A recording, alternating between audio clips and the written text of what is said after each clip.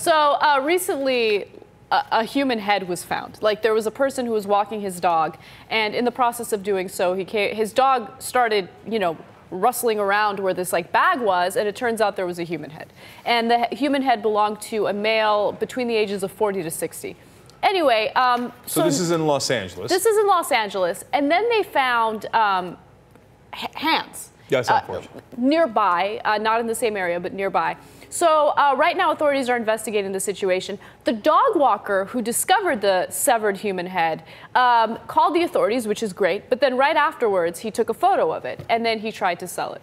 Oh, look at this country, man. Look at this the state we're in. Like they don't think like, oh my God, I'm aghast and I, I'm going to help try to solve this case, or I'm so glad I at least found this poor person and maybe we can put them, you know, it, you know, find their family and have a funeral. They think, how am I going to make money? Oh, I got a decapitated head here. Oh, yes, okay, time to cash in. Who looks at a decapitated head and thinks, I won the jackpot? A dog walker in LA.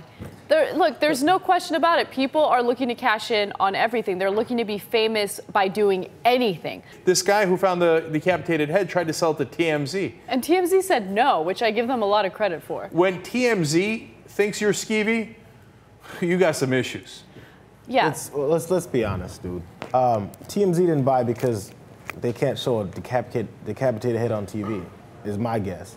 It's not like they're moral and like, oh. They can on their website though, which not. still makes a lot of money. They, they, they probably wouldn't do it there either, just because of the out, the outcry. The guy's coming up wrong because he thinks that he can get somewhere with selling this, but he can't really show it anywhere. That's where his problem is. I mean, dude, it's it, it's not. I don't think it's holding up the investigation. Is, uh, is the only point I'm making. I think he's gonna be fine with that, and him trying to sell it. If and if somebody can show it, guess who's gonna look at it? Everybody. So I mean, it's it's a society factor as far as I'm concerned, not just this one guy who decided to sell this human, the picture of the human head.